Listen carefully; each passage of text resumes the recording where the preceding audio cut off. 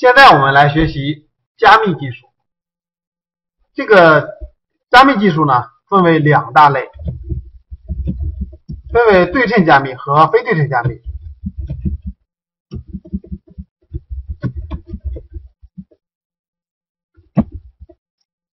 什么叫做对称加密呢？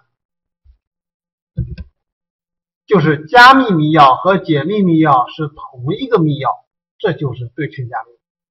比如说，这是 A 计算机，这是 B 计算机，他们要传一个记事本文件，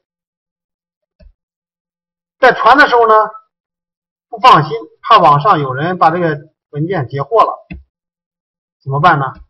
他们可以把这个文件传输之前，用一个密钥呢进行处理，比如说。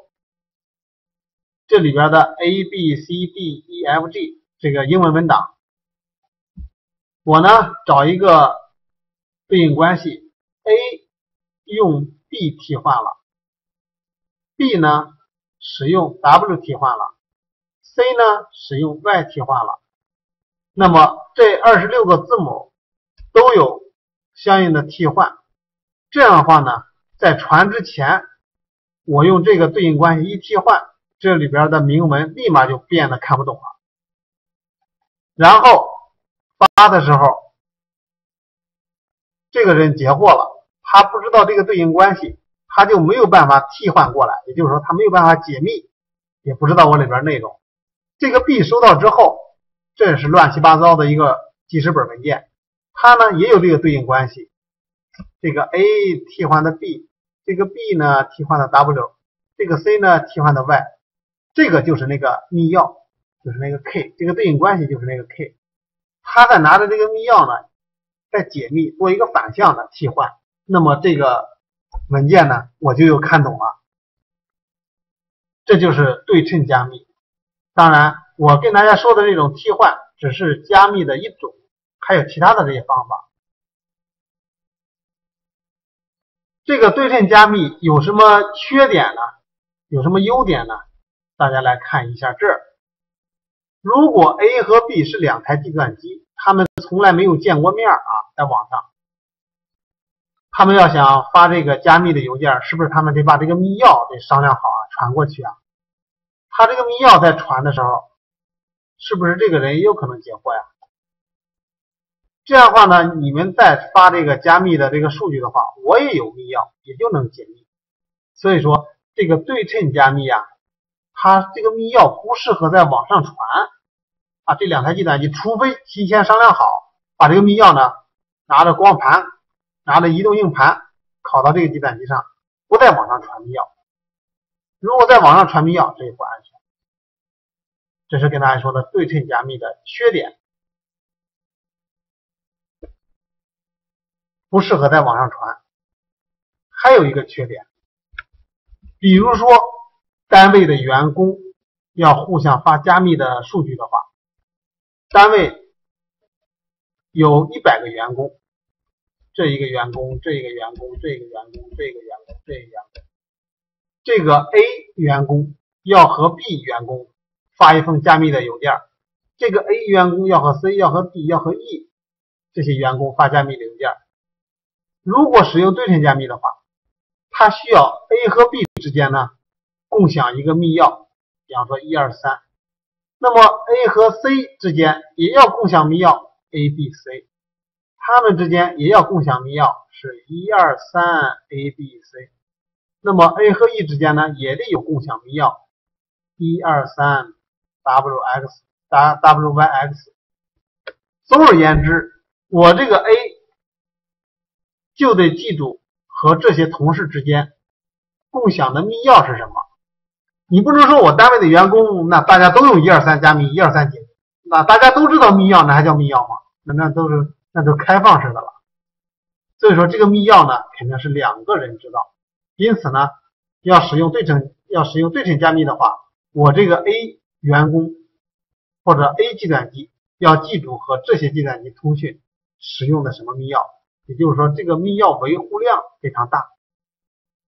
当然。B 计算机要想和其他计算机通讯，也得记住有哪些密钥，B 和 C 使用的什么密钥，B 和 D 使用的什么密钥，D 和 E 使用的什么密钥。这个密钥呢，维护相当麻烦，这是第二个缺点。但是它有个优点是什么呀？对称加密效率高。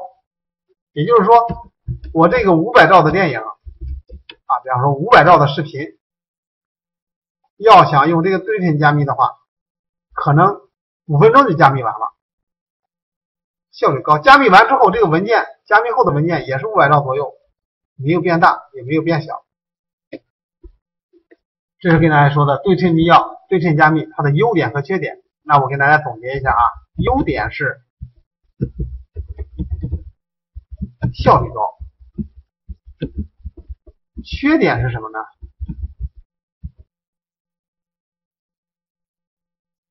密钥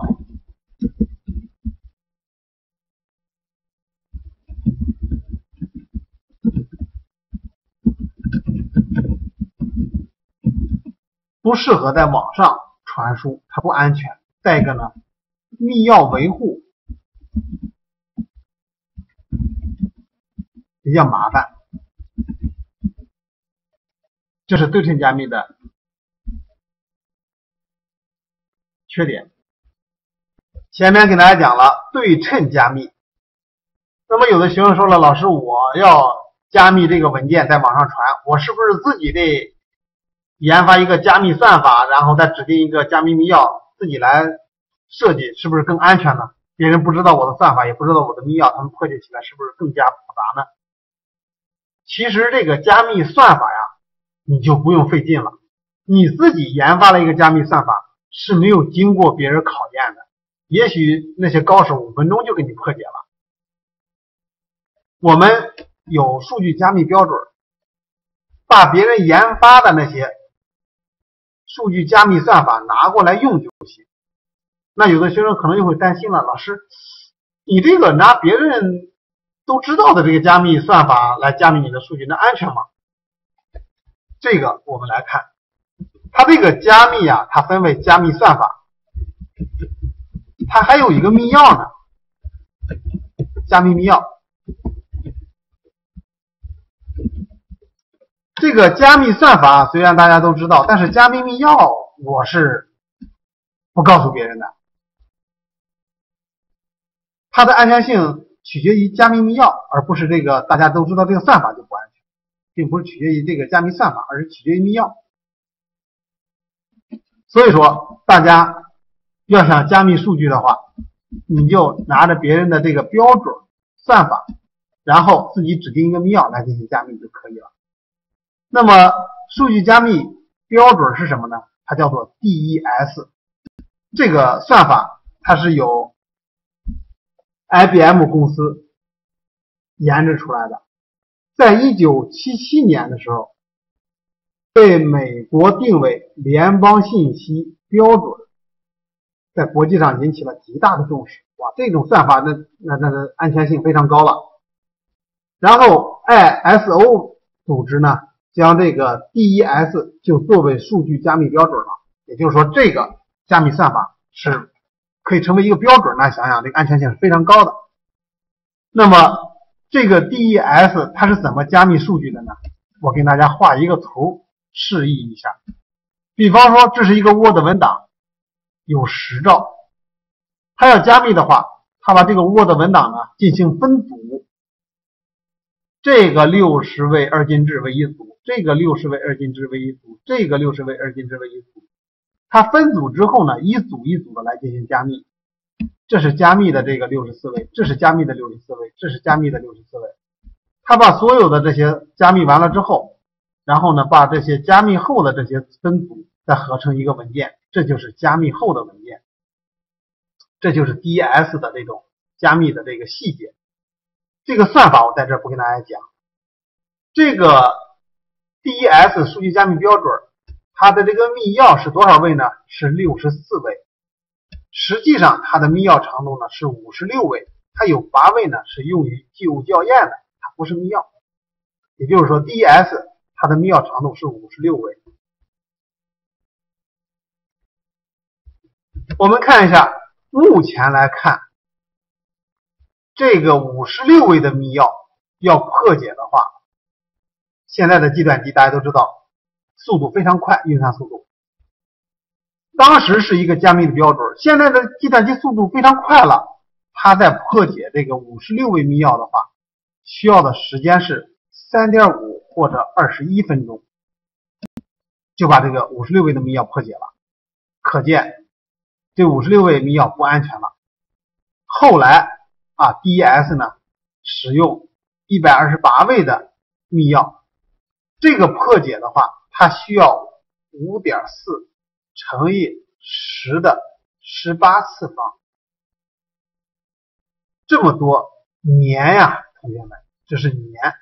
我估计你从现在开始破解到这个到这个时间了，我估计很多人都不是很多人，那那那早去世了，啊。也就是说，一百二十八位的密钥，在目前来看，那是相当安全的啊。这是 DES 它的这个保密性取决于密钥的长度。